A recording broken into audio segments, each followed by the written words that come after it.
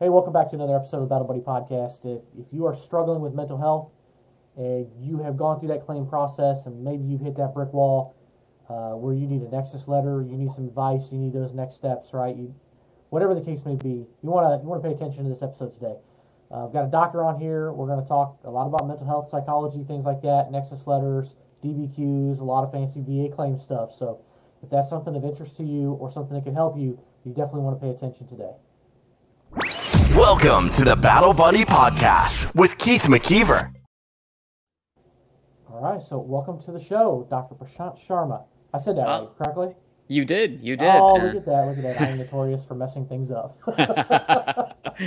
no, that was perfect. so, on top Nice of that, you're not only a doctor, but you're an Air Force veteran.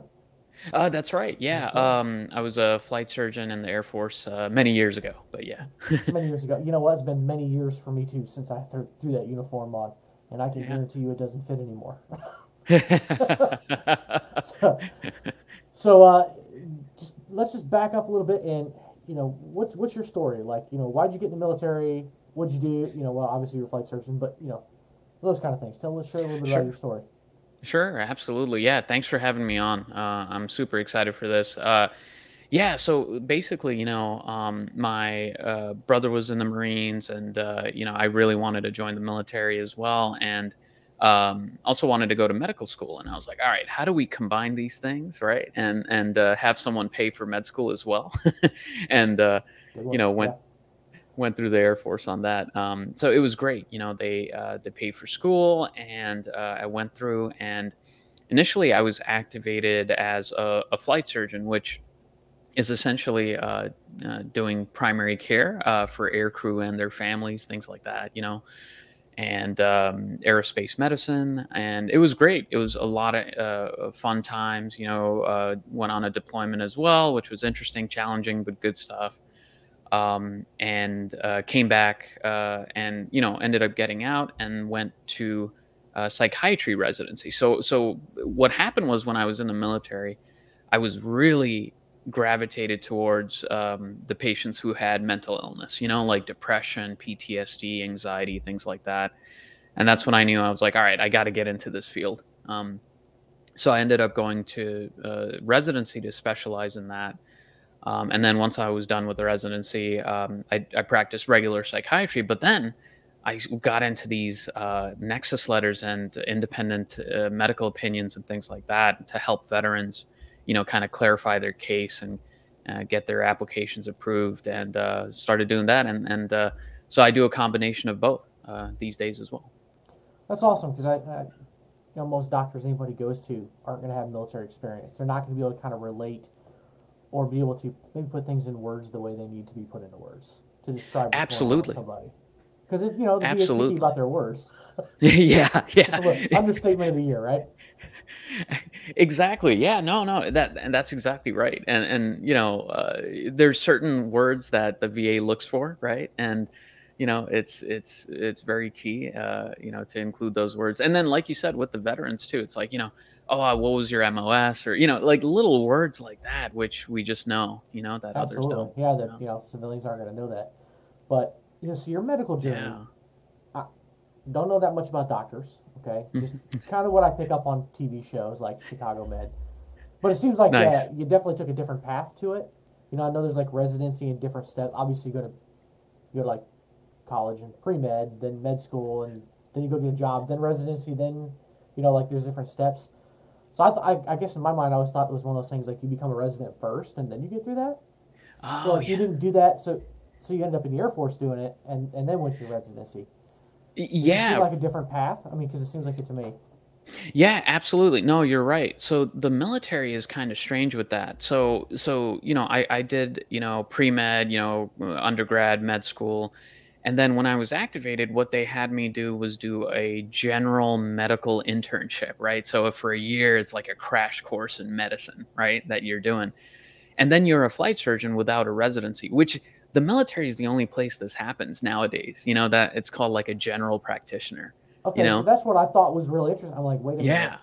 Like, seems like there's a lot of hands-on. kind of explains some doc- some doctors in some ways. Ex- Exactly. Yeah, yeah, yeah. That and that's why when I was like, all right, what am I going to do? What am I going to specialize in? Regular medicine or something else? You know? No, it provides a lot of it. I'm sure it provided a lot of interesting experience. Eventually going into psych, just you know, a lot of a background and different things that I guess maybe you might not get. Oh, a hundred percent. I mean, um, you know, just doing like uh, aeromedical evac, you know, evacuations, you know, things like that, and um, and just, I mean, as you know, like so, just so much mental health, uh, you know, related issues in the military. Uh, so it gave me a ton of experience in that, even before going to residency for psychiatry. Yeah. Mm, absolutely, yeah.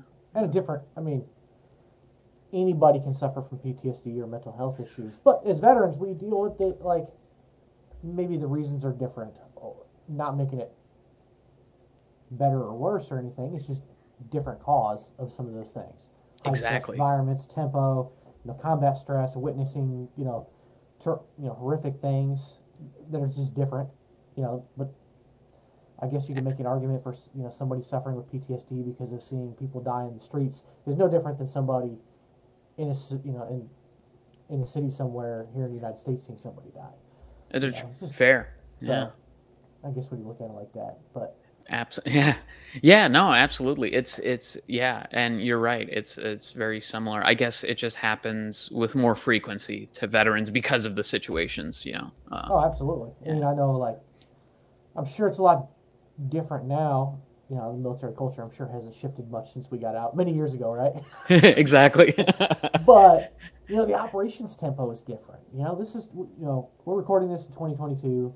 You know, the pulled out of Afghanistan last year. Yes, we have operators, you know, operating, doing all kinds of crazy stuff that uh, none of us will ever know about in hundreds of countries across the globe. But you know, Iraq and Afghanistan are over. You know, we don't have troops in those countries with deployment back to back to back to back anymore. Yeah. You know, and that's that was a lot. You know, I know I know a lot of Vietnam veterans have a lot of issues from their one de, you know one deployment for a year. You know, when I was in Iraq, a lot of Army guys. I mean, they had taken it from twelve months to fifteen to eighteen. Wow. You know, it's like with like one or two breaks in there to come home for like a week or two. You barely let your guard down, and you're right back in the sandbox. Oh my gosh. You know, so it's like, uh, how do you ever decompress from that? Exactly. Yeah. You know, and Oh, go ahead. Yeah, so you have no you have no time to to do so. Exactly. And and that's where like the brain comes in, right? Because it's like all right, so you're you're you're deployed for all, you know, these long periods of time, right? And there's a part of the brain, right, which is our flight or flight uh, fight or flight center, the amygdala. And that ends up being on like all the time for 12 months, 15, however long the deployment is, right? and and then you come back and you're like you got to turn it off you know and how do you do that it's it's it's tough well i don't think it happens in a two week decompression period exactly that's right that's what i got back from both my deployments oh congratulations you're back do this paperwork and process back to the unit whatever you know a day or so and they're right. like okay go take two weeks off which for me like especially my first deployment you know i was i was stationed in japan at yokota air base uh-huh. i had no family i was a young single guy and oh. it's like, okay, go decompress. You know, you have two weeks off. Yeah. You know what I did for two weeks? Sit in my room and drink and play video games. There you go. Wasn't yeah. exactly healthy things. right. Like, what else was I going to do? Exactly. You know, for two weeks. I wasn't yeah. going to travel somewhere. What you know? I mean, didn't want to you know leave, and so you know, I don't know what the answer is, but uh, having people sit in their rooms for two weeks or go back to their family and try and reintegrate back into, you know, that now that husband or that wife that's been home right dealing with the kids and, and the dynamics of the family now you're just stepping back into it those roles don't work it takes you know a lot of guys i've talked to it takes weeks months to cycle back into the rotation and then those guys are right back out the door again. Yeah yeah.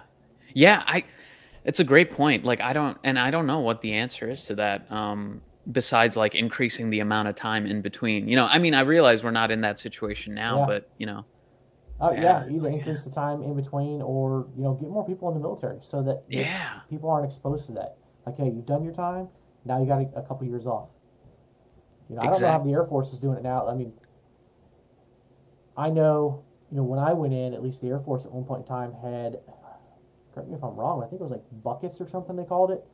So like you would be eligible to, for most of the Air Force anyway. The rest yeah. of the Air Force, you were eligible to deploy in this particular time frame, potentially. But then after that, you wouldn't be eligible until like you know four, five, six buckets later, so which could be like two or three years. That's right. Eligible for my career field, I was security forces. You know, At Oh. one point in time, we were gone six months and back six months. Wow. gone gone again. Wow. You know, I I did just under eight months. Turn around. A couple months later, they sent me down to Ecuador. Not necess- not a, not a deployment. Okay, let's get that straight. sure. On paper, it was a deployment. It wasn't a deployment. Uh, but then, you know, I came back from there, came PCS to Scott Air Force Base, and then boom, turned right around and went back to, to Iraq. Wow. You know, so that two year period, I was like gone home, gone home. You know, like that was just the tempo back then for my career field anyway. No, that's yeah, and and that's and that's rough. Like I, I feel like, and you're right. Now that you said that, I, I had forgotten about the buckets. That's right, we had buckets, and like I had a bucket of a several months. You know, like oh, okay, this is your vulnerable time. You know, when you could be deployed. So at least you know there's some you can expect it, or or not. You know, or not yeah, expect yeah, it there's a there's a chance that you could go in that Yeah. time frame somewhere maybe. You know, I mean, I knew people in other career fields that had to fight and claw for years just to get on the list to go someplace when their time came up. That's true. Yeah. know? Yeah. So it's it's, That's- it's, it's different across one branch, let alone the yeah, different branches. Exactly. Yeah, and and your tempo sounds like uh so when I was deployed, um I I you know uh worked with um a bomber unit where they used to do 6 months back home, 6 months deployed and they just it was like infinite, you know, and I was like, "Oh my god, like how are you doing that?" you know? Uh but Yeah, the- yeah, it sounds like that. Yeah. You get just as much time to decompress. Yeah. Well, actually, I mean, really, you get less. I mean, you got like, you know, in that situations, you only got two or three months to try and decompress and get more to a normal state. That's before true. you have to be like, okay, you're about to get relieved of duty and go back to pre-deployment training and you know get all your qualifications and your shots and all those things. That, you know, all the 50 million places the Air Force made us, you know, get stamps or initials. yeah. I don't even know if they checked all the things they were supposed to check in all those places, but all those motions you had to go through, you know, you know. So by the time you you get back to normal, you're ramping right back up to go again. Yeah, yeah, yeah, yeah, yeah. That's, I guess both are like jar jarring in some levels, right? I mean, it's just, yeah, Yeah, that well, you know that, that that was back in the day. Hopefully, I I really hope. I, I really don't know what the tempo is like today, but yeah, I hope it's a lot different for the troops today. yeah. Good point. But either way, everybody has mental health, right? You know, we we're all on a sliding scale of where we're at, good or bad. Yep. So, you know, like I kind of started to show off if people are having problems or you know looking to make a claim, things like that. Um, there might be some things they're not familiar with, like a Nexus letter or a DBQ. Could you break down what those are for, for people? Absolutely, yeah. It's a great question, and you know, it's it's good to talk about it because uh, nobody tells uh, tells you, right, when you're going through. you know, you're just kind of, you know, you're just in the process. So, so basically, uh, you know, what it is is, you know, you have cl- different types of disability claims, right? And, um, you know, if if somebody had an issue in the military, let's just take for example uh, you know, they had a leg fracture when they were in the military, and then they had pain that you know went on after they left the military. Right? That's that's really a, a good claim. It's an easy claim. You know, you can you can easily make the claim and and uh, submit the documentation. You know, go to your regular doctor and uh, and and let them know. You know, I'm having this pain. I had it fractured back uh, when I was serving, and then you submit all the records and there's a pretty reasonable chance that you're going to get that approved. Oh, sure, right? because you know you, you went to the doctor when you were in, and the doctor's Yeah. like, okay, yep, we, we took some X-rays, it's broken. Here's your cast. You know, here's your profile for six months. You know, you know, whatever. Like, exactly. a record of it, like what what exactly how they treated it, what they did, what the diagnosis was. That's right. That's ex- yeah. It's it's like it's it's straightforward, right? You know, it's like all right, yeah, you know, uh, uh, um, you know, it's easy, right? But you know, that's where and you know that's where we have the difficulties if the case is different, right? So let's say uh, we go with something else, right? Like let's say somebody was deployed and you know they had to handle a lot of human remains, you know, so a lot of like chaplains, uh, chaplains assistants, they ham- handle human remains, right? And after that, you know, they never got seen, but they were having a lot of symptoms, like they were, uh, hyper vigilant. You know, they were feeling pretty down. They were having a lot of anxiety, flashbacks, you know, nightmares, things like that. But they never told anybody, right? They just, you know, it's like, oh man, like m- maybe they'll disqualify me if I tell them, you know, if then they diagnose me with something. Oh, well, uh, a very, very real fear there that you're going yes. to get, you know, like I said, I was security forces. So I came back from my first deployment and they basically were like, oh, welcome back. Uh, if you want to talk to somebody, they're right through this door. Uh huh. And nobody got up. And what? Because you, no, nobody got up. You know, it was yeah, like, yeah. Um, yeah, I'm not getting up. yeah. Up? Nope, you're not getting up. You're not getting up either. you know, nobody wanted to be that person to kind of show that weakness. Like, no, you just made it through a deployment. You just, you know, you just were in the middle of Iraq and you did this, that, and the other. You know, and yeah, like you don't want to show that weakness. Like you just, you just, you just made it through that. Yeah, and that's such a like when we think about it, that's that's such a not a good way of doing it, right? Like it just showing it in front of everybody and being like, "Hey, if you need help, walk through that door," and everybody's like looking at everybody. It's yeah, like yeah. uh, nobody's gonna walk through that door because nobody wants to uh, show that in front of others, like you're saying, weakness. Yeah, you know, not that it is a weakness, but you know, it's perceived. No, but there's this yeah. perceived weakness because uh, you know, unfortunately, in the military, you have to be. You have to be strong. You have to be there for your team. You have to be there for your battle buddies. Like you, you know, it takes everybody to pull off the mission, and, Yeah. and you can't really show a sign of weakness. Yes. Like you know, because everything is it's all about the mission, but and it has to be. You know, in order for the military to work and to protect our country, it has to be a well-oiled machine like that. You don't want to change that, but you do need to recognize that that's the system. Right. Right. Exactly. Yeah. No. No. And you know, you, you know, then you're worried about, oh, you know, I'm gonna, it's gonna put stress on my uh, teammates. You know, they're gonna have to do more if I if I do something. You know, yeah. It's this infinite, infinite kind of thought loop. You know, that you can go into. Yeah, it's it's a darn shame, but Yeah. it is what it is. So, Yeah, yeah, and so you know, um, the your original question about uh, Nexus letter. So so you know that person comes back. You know they don't talk about it. Then they get out of the military, and you know it's really affecting them. Right? It's you know the flashbacks, the nightmares. They're not sleeping. They're irritable. They're having problems with their spouse.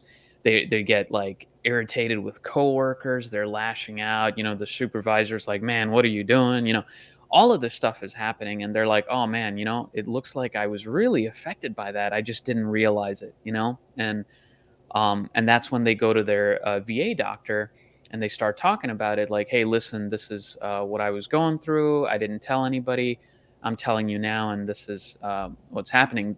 That's where a nexus letter can come in and really help the individual. So a nexus what a nexus really means is a link or a connection. So, the goal of a Nexus letter is to connect whatever the veteran has as a diagnosis to something in military service. Now, it doesn't have to be that the military service caused it directly, it just has to have happened during military service, right? It if it caused it, then that's an even stronger claim, like you know some stressful incident or fracture or whatever. But um, but but that's what a nexus letter is. It establishes a connection between the diagnosis and military service.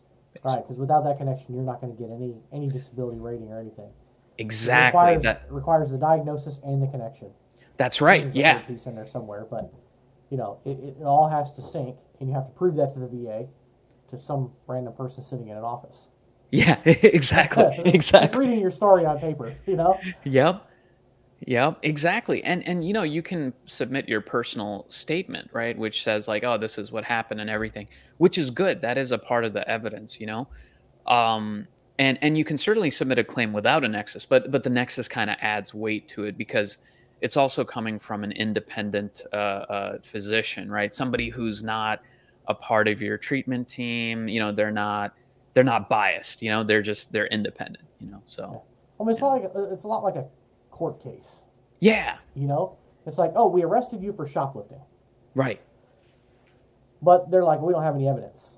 We just know you did it, you know. Versus like, oh, we we we have somebody in the store saw you. We have video camera evidence. We found it on your person. Like, you're just kind of building all those connections to be like, "Look, see, all the evidence is here. Yes. Like the case is going to get thrown out if you get arrested for shoplifting and they have no evidence. Versus um, there's clear and obvious evidence here. Like, yeah, we see you on video doing it. you know, I, that's the best analogy I've got of like you just want you want to be like the police and gather as much evidence as possible. Like make it a slam dunk case. Yeah. That's a that's a great uh, comparison actually because it is kind of like you're a detective, right? You're just like going through and like because you know when I'm reading a medical record, I'm like I'm going through and I'm trying to find like where you know everything is and and uh, to establish that uh, that connection. So yeah, a hundred percent, um, Yeah. absolutely. hmm Huh. Just, just like the timelines too. Like, okay, does it does, does everything line up? You know, I mean, I've gone through claims a couple times. You know, and they always ask those questions in those processes with the doctors. Like, okay, tell me when this started. Yes. Okay, did, did it get worse? You know, what happened next? You know, Yeah. kind of things. Which I tell you what is really hard. I would my piece of advice to anybody getting out of the military is go file your claim immediately when you get out. Yes. Because when you file another claim ten years later, like I just did last year, and they start asking questions, and you're like, I this particular year, what do you know, a month? yeah. It's been over ten years. No, I don't remember exactly what. month. I mean, uh, Right. sometime there and there. I can't pinpoint it. You know what I mean? So when it's fresher in your mind, you can more accurately articulate the dates and the times and be more precise with things. Because after a Uh, while, trust me, it's exactly. go right out of your head. That's right. Yeah, no, I agree 100%. And and like so that's the best advice. Get seen as soon as you're out. And if you're still in and you're listening to this, you know, at least talk about it at your separation physical because at least at that point you can get it on the record and it's on the record while you're still in the military before you get out, you know? And and, and you know, I mean, you know, I guess they could disqualify you right before you get out, but I, I think that is the safest time if you're really worried about getting disqualified. You know? Yeah, I mean, just go. To, you really need to go to the doctor for anything that you have. Like I rolled my my left ankle like three or four times. Uh huh. You know, and I just go to the doctor, you know, painkillers, whatever, and stay off of it, ice it, whatever. I never thought anything of it. When I got out and went for my initial claim, they, they start looking back through and they're like, Well, you went to the doctor four times for your ankle. Does it bother you? And I'm like, I mean, every now and then I'll, you know, twist it, whatever. So I've had a zero rating on my left ankle for 11 years or so now, There you go. whatever it's been, you know. So Yeah. the good news is, like, that's covered. Should something ever happen in the future and it gets worse or, you know, weakness, whatever, you know, and that's just one of those things. Like I mean, never really thought about it. It was just like, hey, could you give me a, like a brace and some painkillers Oh, last right. couple of days and let the swelling go down? You know, because for some reason we had to do PT in a field with potholes, you know, holes in it. You know, whatever. Yeah. Right. Right. Yeah. exactly. They'll always have the nicest facilities, even in the Air Force. Yes, Marines, we said that. so yeah, anyway, yeah. Yeah. so how does that? Um, you know, so we got the the the Nexus letters is those letters, and the DBQs is just basically the outline of like what each what they're looking for in each one of those. Correct? That's right. Yeah. So th- that was the other part of your question, DBQs. So those are the disability benefits questionnaires, which is like the VA form uh, outlining the condition. It's very robotic, as as you would expect from the VA. It's like, oh, check mark, you know, check boxes and things like that. And and so you know, the person doing the Nexus letter for you. Um, you should be doing the DBQ. At least I do that, and and you know you go through and do it the DBQ is easy. I think the Nexus letter is the one that carries the most weight because it's like a narrative, you know? It very nicely should describe like everything that's going on. But you're right, the DBQ is still important because the VA looks for it and they look for the buzzwords from the DBQ as well. Exactly. You know, Yeah. like I know when it comes to mental health, I, I don't remember the exact words, but like there's certain things at the certain rating levels. You've got what? Uh, minimum is what, 10%, 10, 30, 50, 70, 100. I believe at like 100% for PTSD, you, you almost have to be darn near having a caregiver, incapable of managing your own finances, uh, personal hygiene. I think something, some things like that in there. I've, I've read through those before. Um, one of just a few Yeah. That I've ever read through because it's any anything from the VA. You know, it's, it'll put you to sleep reading it too long. But Abs- you know, it kind of basically outlines what generally you would expect in those ranges. Exactly. Yeah. No. No. And and you you described it perfectly. It's it's like uh, near having a caregiver for hundred percent. It's like total social and occupational impairment, you know, like no ADLs, which is like activities of daily living, like not just not able to do personal hygiene and stuff like that. So yeah, you're right. And and it, you know, there's a whole range, of course, of percentages there as well. Absolutely, yeah. So Yeah. It's important for anybody going through any claim True. to kind of read those because those are the ones I've ever read. I've definitely never pulled out the manual and started finding random things to read about. yeah. but you know, it's it, it is interesting to, to kind of see what they're looking for, and some things won't make any sense if they start getting technical with like joints and movement percentages and range and I mean. That's whatever, You're not true. gonna know any of that stuff. It's gonna be like reading a foreign language, but Yeah. is what it, It- is. So That's true. Yeah. Unless you Google a bunch of stuff it. I know, yeah. right? I've done a fair fair amount of googling. There's some websites out there, but so you said you help people through the process. What what exactly are you doing? Can you explain Uh, that to everybody?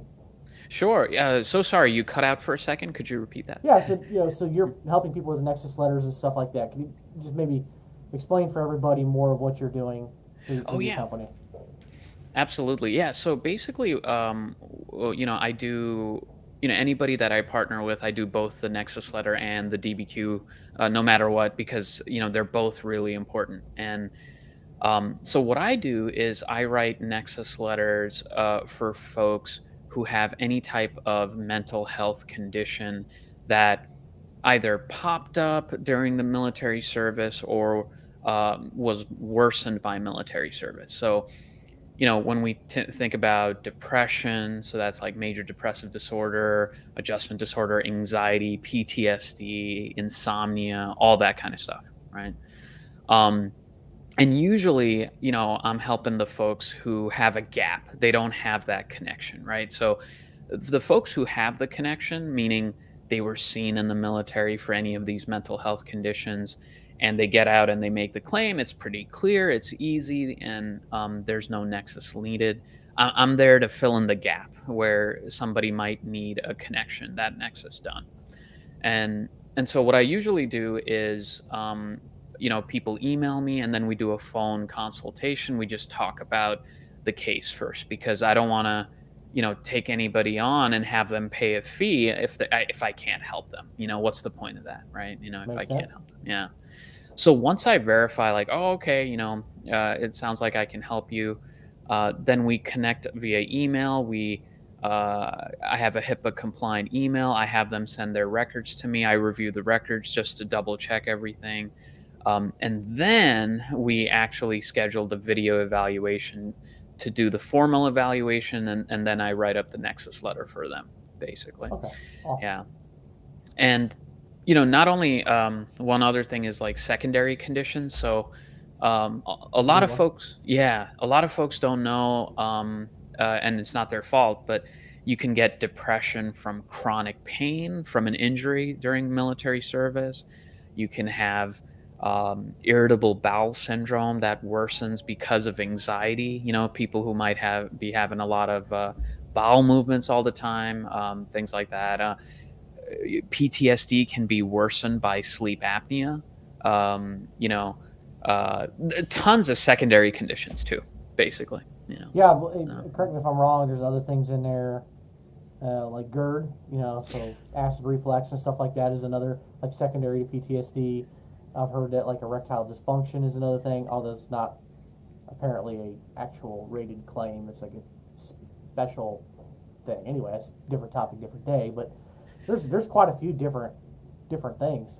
I believe is, is weight gain like or uh, weight control or things like that related to as a secondary.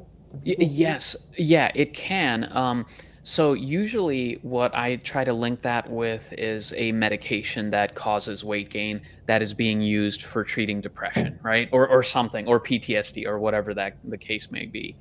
I have noticed that when we try to say weight gain was secondary to the mental illness itself, that is something that can be connected, but it's tough. The VA is really, you know, they really fight back on that one. Um, but but you know, I try to gauge it case by case. Yeah, uh. I mean, you know, you could just be overstuffing your mouth too.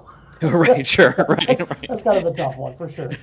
So, Yeah. you know, so you know, one of the the things, you know, that I, what I wanted to ask you about next, now that people have an idea of what you do, and the nexus letters and all that stuff. I know when it comes to mental health, one of the things that you kind of have to articulate to the VA is one of two things. Uh, maybe there's a third one. You can enlighten me, but occupational impairment and social impairment. Can you can break down like what those kind of look like?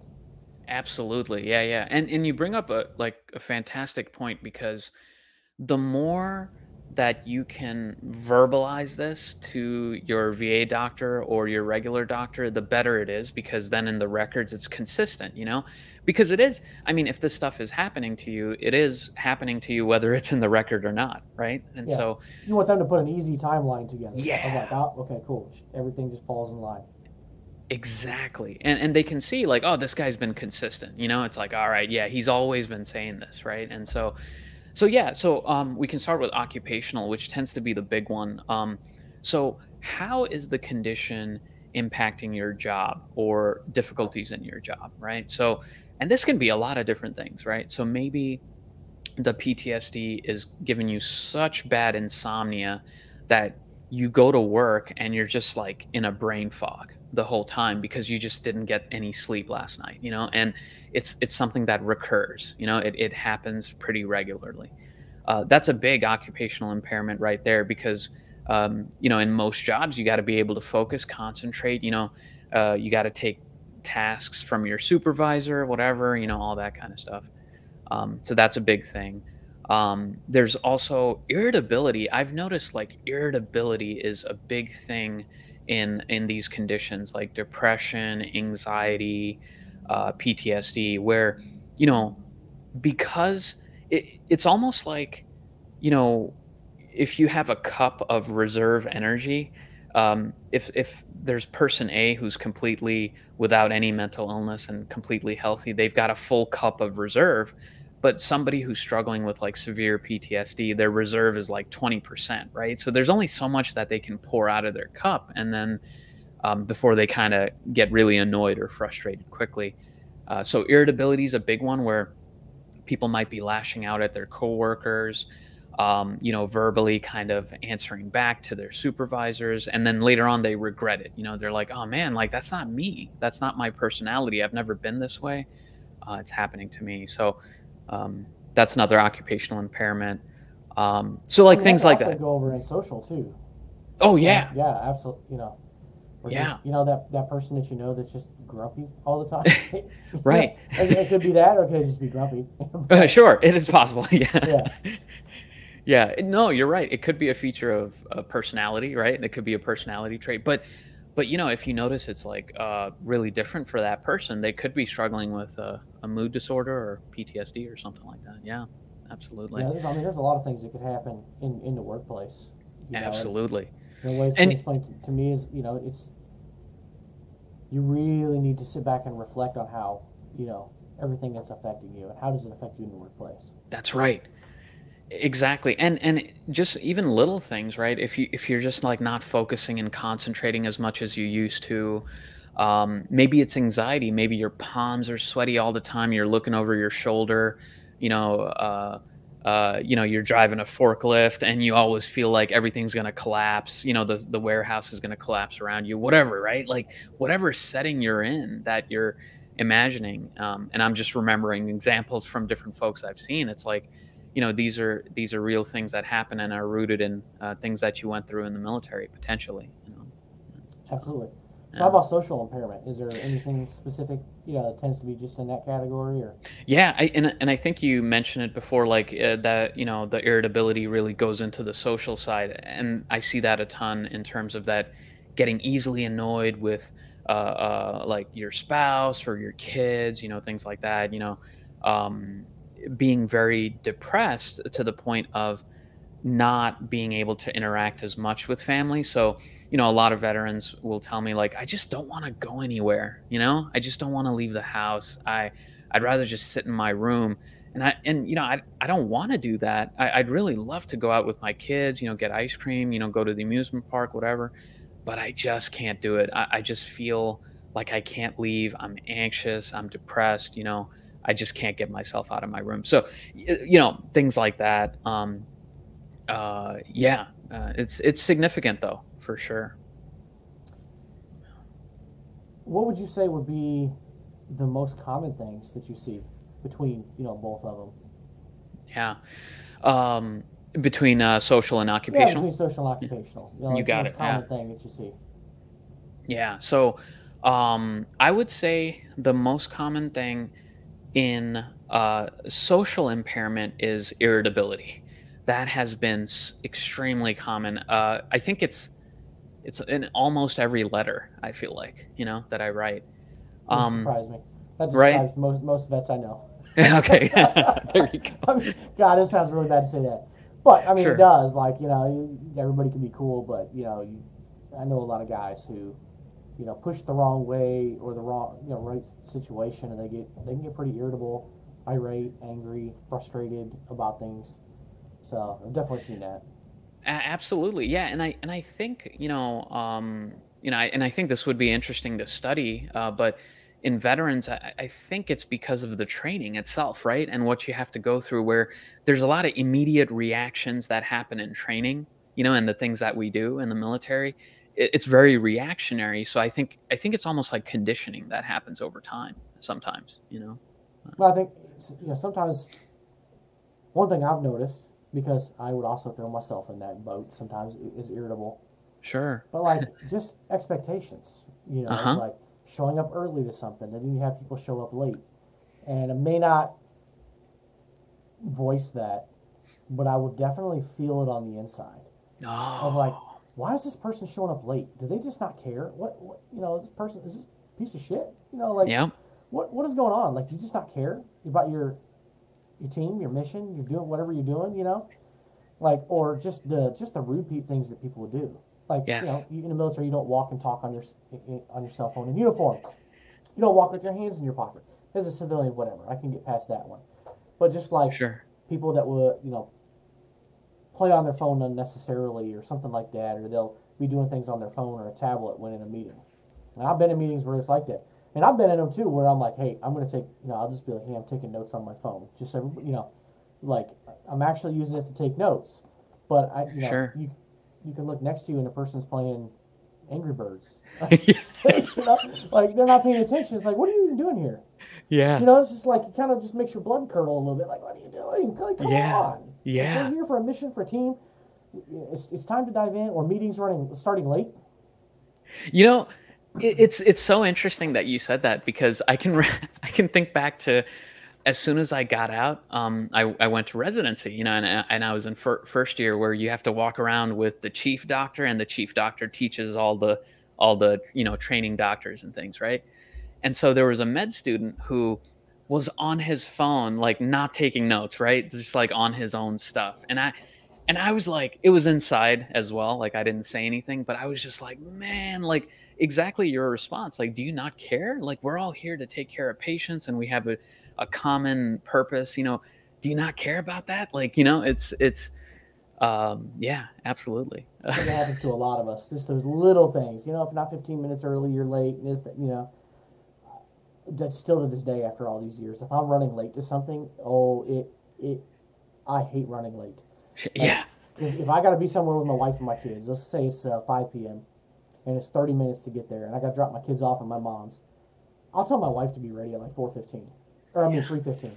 So be like, okay, so I tell her 3:15. I'm lying to her because we, we absolutely need to leave by like 3:45 to get the kids, to, you know, somewhere at four. So we got plenty of time on the road, and then we're still 10 or 15 minutes early. Yeah. Like in my mind, I've got this timeline already built of like this is when we need to be here. Here's all the timeline steps, the you know, the the waypoints, if you will, of like how we're gonna get there. Waypoints. Yeah. And it's like, oh, like it's just driving me nuts. Like if we're like two minutes past one of them, like I start freaking out on the inside of like, oh, we're so late now. Oh man, we're so late. I hate being late. It's like I've, I've already built in like 20 extra minutes to be there early. sure. Yeah. it's, it's, it's gonna be okay.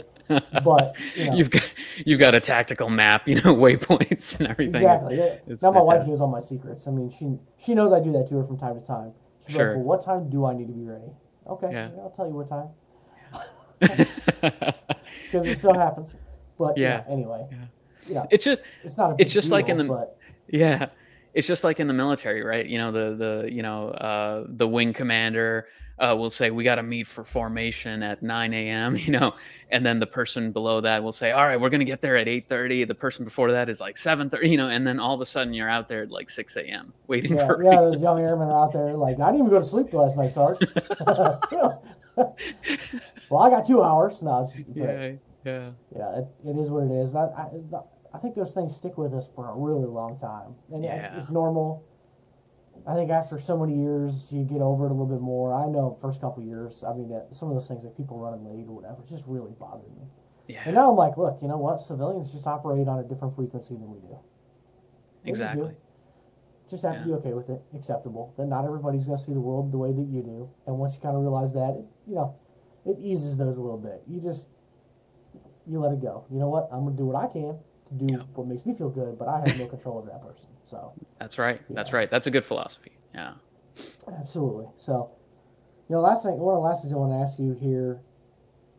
Some people, when it comes to mental health, may have a problem doing this. So, if they've never gone to anybody, especially a mental health provider, but they've got their primary care provider, let's just say, how should they start that conversation with them? Of like, hey, I'm struggling. Because I know when I go to my doctor to VA, they'll just flat out ask, have you had suicidal thoughts? Have you had this? Have you had that?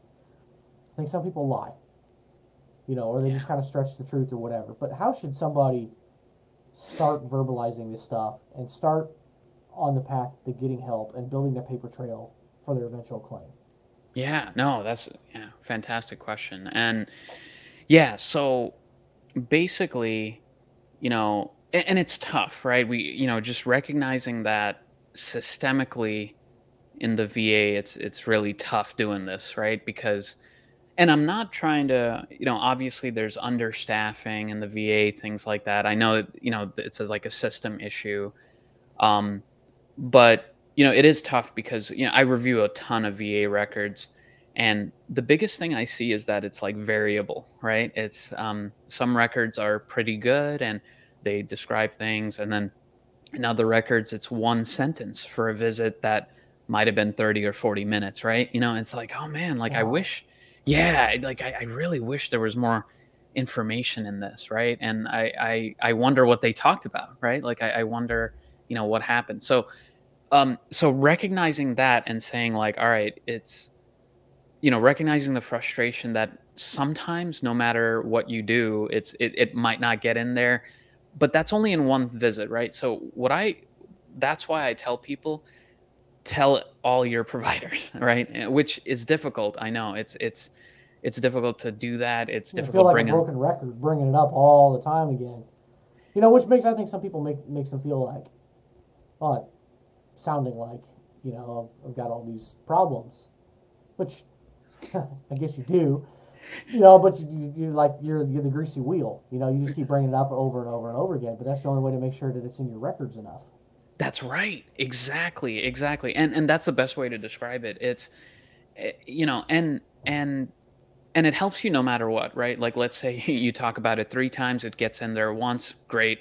If you talk about it 3 times, it's in there 3 times, fantastic, right? That that's you know, that that's really good. So what I usually tell folks is um broach the topic and just say, "Hey doc, you know, um I wanted to talk to you about something that's you know it's tough for me to talk about you know and um and you know i've debated bringing it up or not but i but i just wanted to and i wanted to tell you.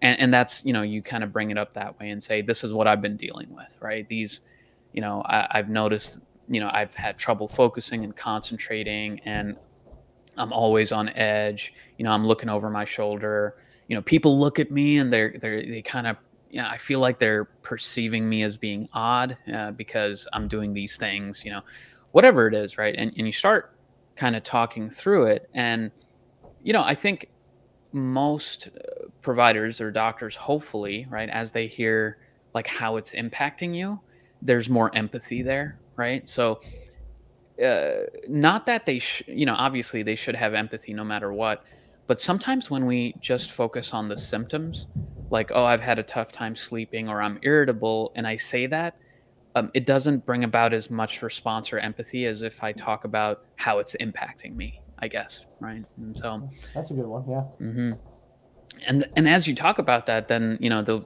they'll really begin to understand like oh, all right you know this is really tough and hopefully they're, they're going to be documenting that and also helping right and also being like hey like maybe you want me to refer you to you know cognitive behavioral therapy or do you want me to uh, prescribe a medication? And that's good too because that also uh, two things. The first thing is it helps you right? Um, if you're struggling with a mental health issue it helps you deal with it process it get treated for it. And the second thing it, it adds to that paper trail as well uh, for the claim because it shows that you're seeking out this treatment and you've been tried on different things you know therapy Yeah. medication things like that Well, you mentioned empathy, and I think that's an interesting thing with doctors because in, in all my years, I'm on my, if I'm counting right, fifth doctor at the oh yeah, yeah, uh, yeah. I, I, you know, I get one for like a year and then they're gone for whatever reason. You know, it's, Oh, ah, it's the system. You Yeah. know, but you know, every doctor I've had has, you know, I've liked certain things about one versus the other. You know, my first doctor, she didn't have much empathy. she didn't have a lot of bedside manners. She was more of a to the point, point blank, like you know, this is what you need to do, whatever. Not a real warm person, and uh, you know, my second doctor, I, I kind of jokingly refer to him as like a hippie.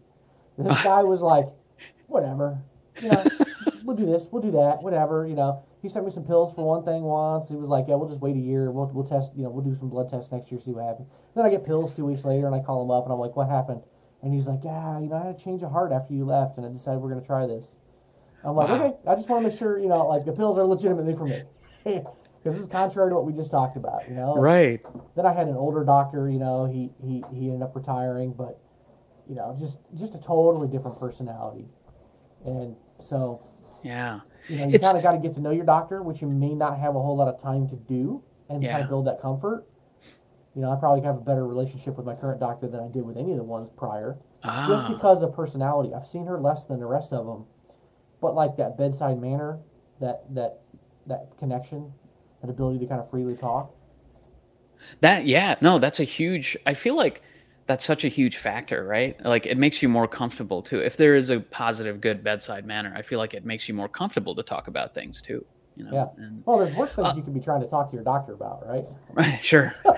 I, in my opinion, I know there's a stigma around mental health, but I think that there's some things that you could come to your doctor and try and talk about that I would think would be a little bit more embarrassing. Absolutely. Oh Like yeah. problems down there as a guy, or things that you might have caught from a partner, or Yeah. urinating on yourself uh, like every day, or like I mean, trying to make a joke out of it, but like I would find that a little bit more embarrassing than talking about, hey, like I'm, I don't feel like I'm 100 percent up here, need some help. Absolutely. Absolutely. No, I agree with that 100%. There's way more embarrassing things. So, yeah, I can think of a few more, but you know, I, I won't. You know, but, We don't want to plant any ideas for people, uh, but right, right. yeah. Yeah. But you know, the, the, No, the is, exactly, there's and- more. Yeah.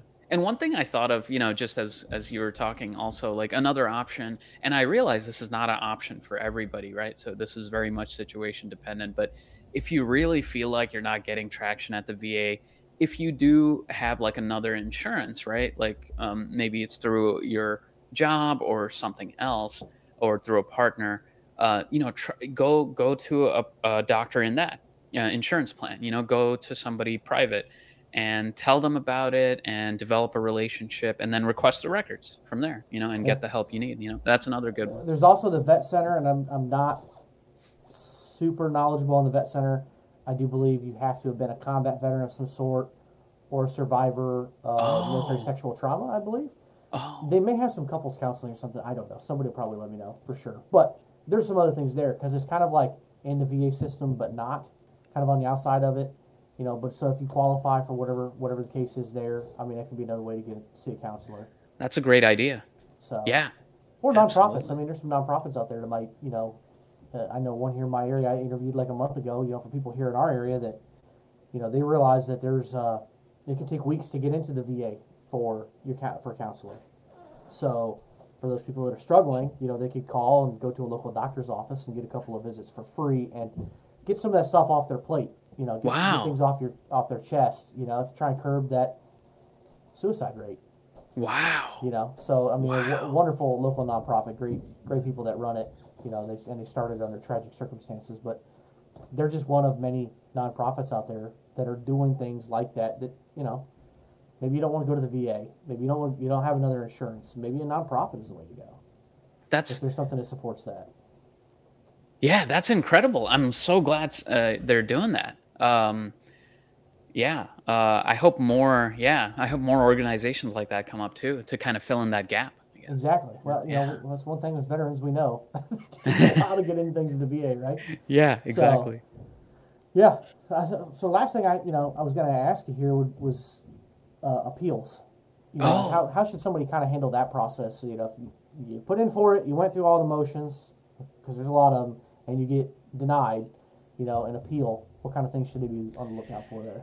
Yeah, so you know that that's the I think that's probably the toughest one of the toughest things is the appeals, right? Because it's so complicated. And um so the the main thing with appeals is you want to get more information, right? That would help your claim, right? So um and there's a couple of options with this, right? You you you know, speaking on the you know, doing it yourself is you want to get more information. So maybe you want to go to the doctors again. You want to talk about more things that are going on that you might not have talked about before. Uh, you want to get more records, any other procedures you had done if, the, if it was based on a procedure, things like that. You want to look at not only your own personal statement, but maybe a buddy statement, like maybe a buddy letter uh, from uh, somebody you served with. So let's say like let's say for instance you're going for obstructive sleep apnea and you had a buddy who always used to you know uh, complain about you snoring or something like that and and example. you know right right. Yeah. i can see that happening a few times for a few people. Right? Exactly and so you bring that buddy you know you you talk to them be like hey I'm, I'm, this is what i'm doing. Would you be comfortable writing something like this up? You know very simple you know and that that would be a buddy letter that could add as evidence right you could add a spouse letter, right? You know, the spouse noticed this happening since you were in the military and it's and it's worsening, whatever. And you want to take that evidence as much as you can from collaterals and everything, and you want to add that uh, for the appeal. Now, I will say, like, um, and uh, you know, I think the hard part is getting everything right with the paperwork, and um, I do think that sometimes, and I don't have like an agency to recommend, but sometimes going through like a law firm or agency can be helpful. Um, yeah, you know, if it's really complicated, right? Because if it gets really complex, it's hard to keep track of everything. And, you know, the VA has these experts weighing in and they're legal advisors, and it's just you. So sometimes it's difficult, you know, to kind of balance that. You're a little outgunned and, in those situations. Yeah. Yeah. Yeah. You're, you're up against the wall. Yeah, exactly. Exactly. And, you know, there are a lot of agencies that um, that what they do is uh, they won't charge anything up front, um, and you know, uh, you can go into it free, and and then they just take a percentage of whatever you're compensated for in the future.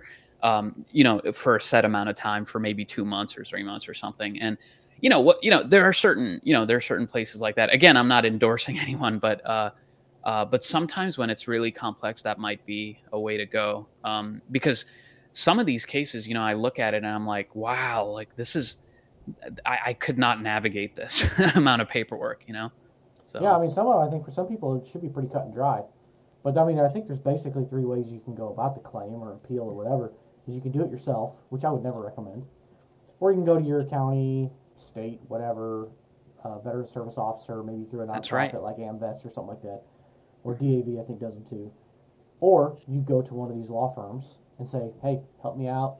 Your your lawyers, whatever. I don't know any of them off the top of my head, but sure, you know, certainly, especially, you know, I, I don't know that I would recommend that for the first time or the second time. But if you if you had to try like a third or fourth time, yeah, you're probably in your third or fourth year battling this, and maybe it's worth considering coughing up some of that money that, that, that you get if you if your claim goes through to force it through you know. That's right. That's a I, I like that um, kind of stepwise method. You know, if it's been a few times, then it's like, all right, maybe it's time to call in. You know, uh, some good backup. You know, and uh, yeah, for sure. And I totally forgot to mention. You're right. The VSOs, the VSOs, a lot of VSOs are fantastic, uh, and they can really help with, with the appeals.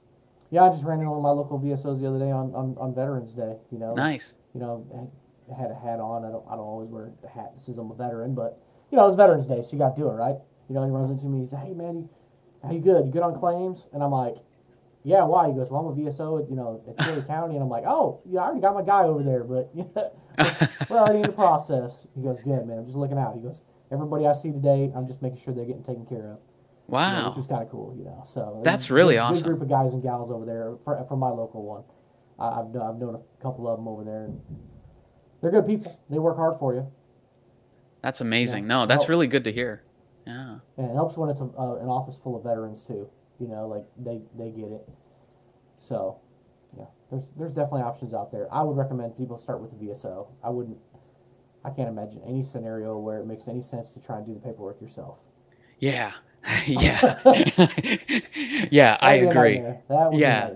Be a nightmare. Yeah, So- it's really it's it's like it, it's difficult to comprehend, and there's there's like auxiliary forms for things like like and they and it's they tell you, but it's like buried in the fine print. So yeah, I, I agree. Oh yeah, and they, they all look the same. It's like all basic information at the top, and then the bottom looks the same, but it's a slightly different form, the title and form number, but everything else is basically the same. And you know, I, I know I've I've looked through everything that I've ever gotten from my VSO, and I'm looking at it, and I'm like, gosh, this is a lot of apparently redundant paperwork here.